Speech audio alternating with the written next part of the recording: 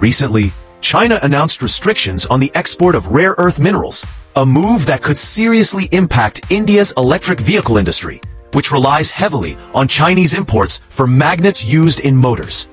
But amid this challenge, a Bengaluru-based startup is stepping up with an Indian-made solution. Meet Chara Technologies, a Bengaluru startup founded in 2019 that's building rare earth-free electric motors and controllers. Their breakthrough lies in a technology called the synchronous reluctance motor, which completely eliminates the use of magnets, yet still delivers the same torque and efficiency as traditional motors that rely on rare earth materials.